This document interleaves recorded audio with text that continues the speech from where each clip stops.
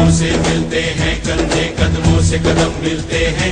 हम चलते हैं जब ऐसे तो दिल दुश्मन के हिलते हैं। देश में सीआरपीएफ ही एक ऐसी पैरामिलिट्री फोर्स है जिसमें तीन महिला बटालियन भी शामिल हैं। आरएफ में भी ये महिला जवान एक बेहतर कड़ी साबित हो रही हैं। अपने पुरुष साथियों के साथ कंधे से कंधा मिलाकर ये महिला जवान अपने आप को हर मोर्चे पर 20 साबित करती हैं।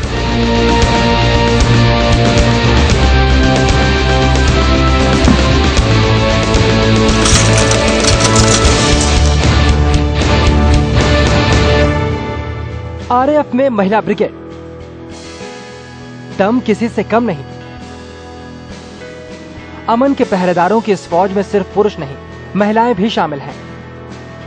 इनकी जाबाजी अमन के दुश्मनों के दांत खट्टे करती है। ये अपने पुरुष साथियों के साथ कदम से कदम मिलाकर आगे बढ़ती हैं। कंधों से कंधा मिलाकर हर मुश्किल से निपटती हैं। हर चीज़ जो है, हर फ़ील्ड में ये आगे है। जेंट्स से पीछे नहीं है। जब वर्दी पहनकर ये मोर्चे पर निकलती हैं तो दंगाई डरकर भाग जाते हैं। वो हमें देख के मतलब उनको डर लगता है। हमारी वर्दी ऐसी है कि वो वर्दी से ही देख के डर जाते हैं। जब हम वर्दी पहनते हैं जब हम चलते हैं जब पब्लिक में शामिल होते हैं तो हमें गर्व की बात लगती है। फौज में भर्ती होने से पहले मैं एक उड़ान सीरियल देखती थी। उस सीरियल को देख के मैंने सोचा कि मैं फौज में भर्ती ज़रूर हो जाऊँगी। और जैसे उस लड़की ने किया वो मैं ज़रूर करूँगी। हर माहौल में खुद को आजमाने का हुनर इनकी खासियत है। क्या हुआ? अगर ये घर परिवार से दूर है। दिल पर तो घर से पहले वतन का नाम लिखा है। हमारे बच्चे बहुत मुश्किल से रहते हैं, उनको भी एडजस्ट करना पड़ता है। जैसे हम इधर एडजस्ट करें, वो भी हमारे हमारे बच्चे हमारे जैसे उधर एडजस्ट करते हैं माँ के बिना रहने के लिए। जैसे हमारे हस्बैंड उनके साथ रहते हैं, वही हमारा रोल निभाते हैं उनके साथ। ऐसे करके हमारी ज़िंदगी कट रही है सर फौजियों की ज़िंदगी आसान नहीं होती। ये महिला जहाँ रहती हैं जिन जवानों के बीच खुद को पाती हैं उसे ही अपना घर अपना परिवार मानती हैं। तन्हाई के साथ ही कभी कभी कुछ नगमे बन जाते हैं। जरा ठहरो जरा ठहरो मैं भी तो चलता हूँ जरा उनसे मिलता हूँ। ये सिर्फ़ एक गीत नहीं देश के लिए लड़ने वाले सिपाहियों को कई बार अपनी निजी ज़िंदगी में भी ऐसे ही हालातों से दो चार होना पड़ता है। तो चलूँ तो चलूँ तो चलो। 24 घंटे रेड की ड्यूटी के बीच मनोरंजन का वक्त निकालना भी इन्हें खूब आता है। इसे एक्स्ट्रा ऑर्डनरी टैलेंट ही कहेंगे कि सिंगिंग के अलावा डांसिंग में भी माहिर है ये बालाएँ।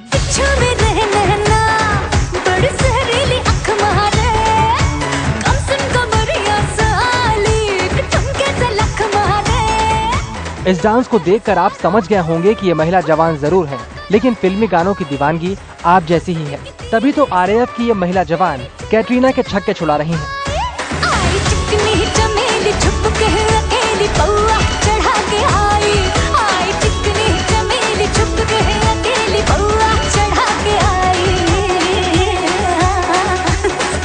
ये तो बात हो गई महिला जवानों की। अब बात आरएएफ की शान यानी पुरुष जवानों की।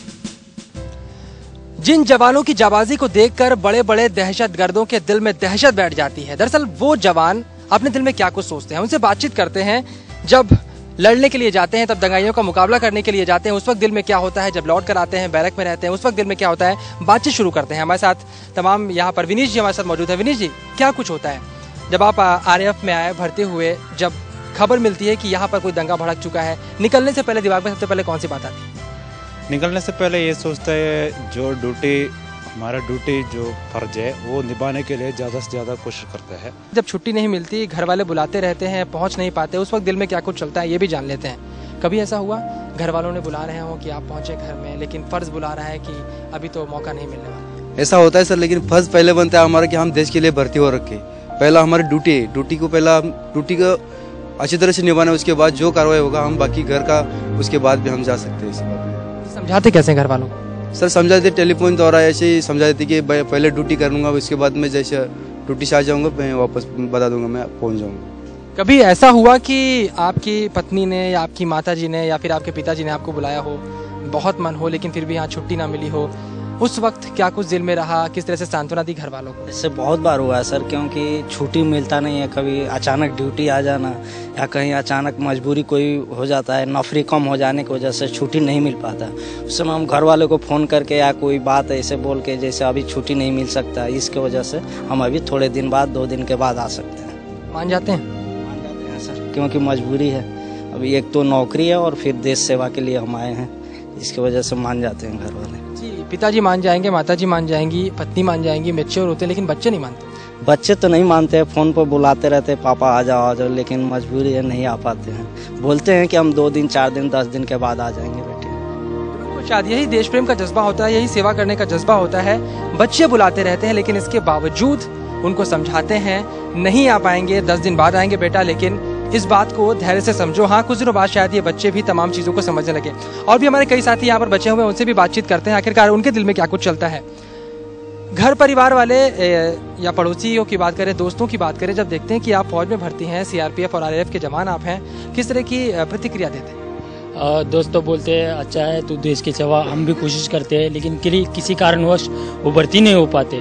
वो भी दुख का, दुख दुख से बोलते हैं कि हम भर्ती नहीं हुई लेकिन तू ठीक ठाक है देश सेवा कर ले अच्छी देश सेवा कर ले ठीक ठाक रहे यही बोलते हैं।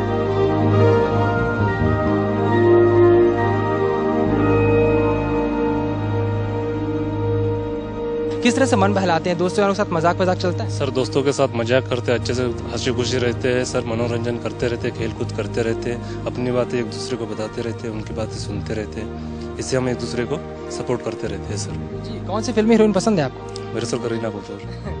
करीना कपूर के यहाँ पर फ़ैन में और तमाम लोगों के किसके फ़ैन है? आपको कौन सी हीरोइन पसंद? है सर मेरे को तो हीरो नहीं सर घरवाली से ज़्यादा तो सर और क्या बताए अपनी घरवाली है। बिल्कुल यहाँ पर इस बात का डर भी होता है कि घरवाली ने अगर सुन लिया कि ये फलां हीरोइन पसंद है तो परेशानी हो सकती है घरवाली से सभी डरते हैं। ये जवान जिनसे दंगाई डरते हैं वो भी घरवालियों से यहाँ पर अपने ज़रूर डरते हैं। कभी कुछ गुनगुनाते होंगे गीत गाते होंगे अपने दोस्तों का कहीं ना कहीं मनोरंजन भी करते होंगे कुछ गीत हो जाए।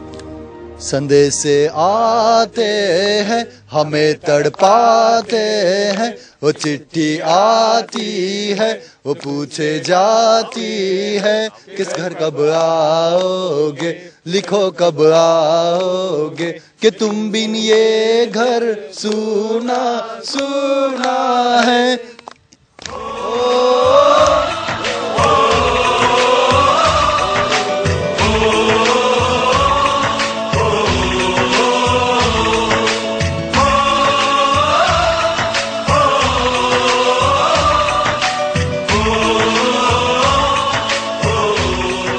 हम आप कोई भी नहीं चाहते देश में, समाज में दंगे भड़के। लेकिन अगर ऐसा होता है तो आईएफ के जवान इन दंगों से निपटने के लिए पूरी तरह से तैयार हैं। ये जवान अपने परिजनों से दूर रहते हैं, लेकिन इस बात की कोशिश करते रहते हैं कि आप अपने परिजनों से कभी भी ना बिछड़े।